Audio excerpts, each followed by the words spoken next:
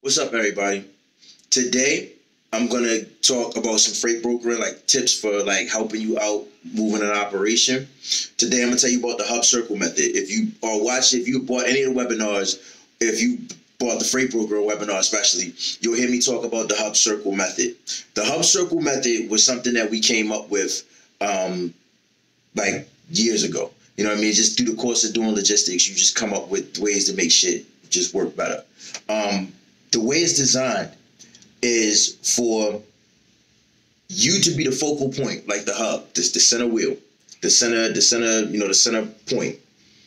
The customer, the truck driver, and the delivery point, all everything, you know, centers around you are the folk you you are the one who you know is coordinating all of it which is what you want.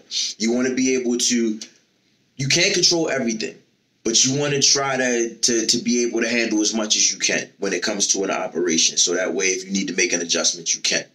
A lot of times the customer is going to want you to cater more to them but you got to be as good to your truck drivers as you are to your customers because nine times out of ten, most drivers, like you know, especially drivers who are independent owner operators, they're going to be functioning on a on a disciplined level. You know what I mean? Because they're running a business, so they're going to need to know the on time pickup, what time they need to deliver, what's the commodity that's going to be put into their trailer if it's their trailer.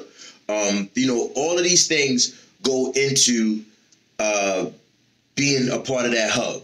And as you, as being the freight broker or the freight forwarder, if you're the freight broker, then they're gonna the driver's your communication point. If he wants to speak to the customer, you know, he, he can I can speak to their dispatch. You want to kind of, you know, as a broker, I mean, common sense would tell you you don't want to have everybody. You know what I mean? You want to, you want to, you don't want to put yourself in a position where you X yourself out of being, you know, the the, the intermediary. But um, you are the focal point as the hub, and that's that's why it's important in terms of the hub circle method that you understand that you know you have to accommodate both. So if the driver's calling you and he has a question, then you got to be able to answer that question. If it's about whatever the you know the the customer is giving them, it's overweight, whatever, any issues, you can't just be catering to your customer. Granted, I understand the customers who is giving you the business, but your driver is who is executing the work. So you got to be as good to your driver as you are to your customer. Now, at different points, you might have to cater to one more than, than you cater to the other, but you want to make sure that you treat them pretty much equal because they're important. And let me tell you, I'm gonna give you an example of a mistake that I made. Um, when I first started brokering, it was a load we were hauling like aluminum. It was recycled aluminum. That that that I mean, some of you out there know what it is. That heavy, that heavy, that heavy shit. And it was going like maybe five states over. And so the driver was coming to pick it up. I was the only one in the office at that time period. I took off because I had to go. I had to like take a physical, a DOT physical or something. It was something I was doing, but there was nobody manning the phones for like three, four hours. And when the driver finally got hold of me, he was furious. You know what I mean? He was furious because he had questioned the, the the pickup was messed up. They had him like held behind. It was a 24 hour spot, but he was way past his service hours. I wasn't there to accommodate my driver. I wasn't there to call the customer and say, "Can we get this guy in?" Whatever, whatever. I don't know if it would have helped, but I at least should have been there to try and, and help him, but I didn't. And I feel bad about that. Like that's that's a certain situation where I was in the wrong. I should have I should have been there to help my driver. And if, and the, at that point, I don't think the phones were forwarding to the cell phone. So it, I don't know, but it was a crazy situation. I know I wasn't there for my driver, and that was a bad thing.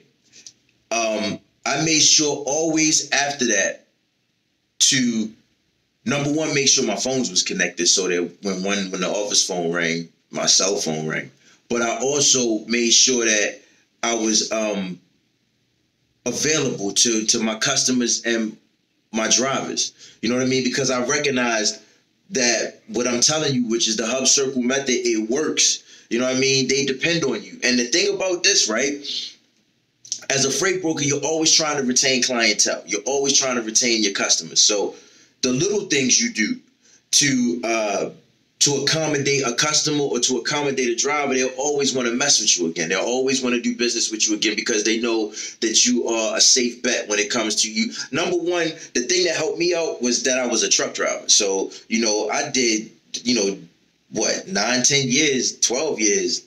I mean, I still got my CDL, yo. I'm, I'm, I'm 15, 16 years strong now. So I come from a truck driver mentality. Um, knowing how to to to be fair is important. You know what I mean? That's like that. That also is. That's what you hear me preaching the most on this part of the on, on this particular session because I always like to, and I'm changing subjects real quick, which I often do.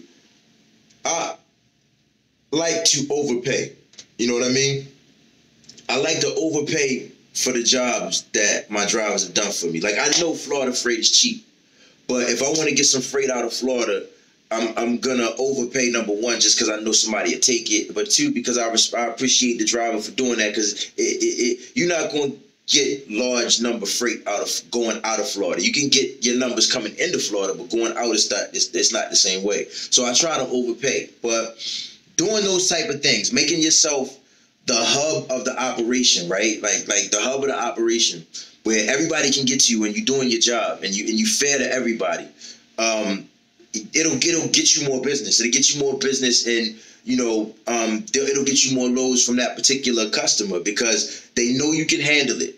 Like you know, when they give you your first multiple delivery, you know, multiple pickup order, like you know what I mean. You got like 13 or 14 trailers that you got to deliver for these people. You know what I mean? You got to find 13 or 14 drivers to get them all covered. They trust in you with you know their customers to deliver to their customers. So now you getting trusted with with some of their operations. So at the point at which you are, are in that part of it, that hub circle stuff starts to really, really work. You know what I mean? Like it, it really, really works because now you're getting all this, you're getting all this work, and you can handle all of it, and they know that you can handle the deliveries on it. So that was just you know a little a little tip. That's that that's just you know something you should apply. Like I said, if you if you watch the webinar, the freight broker webinar, I break down the hub circle method um, a lot further because you know, like I said, that's something that was a technique that I used for um, for freight brokering. You know what I mean? Just always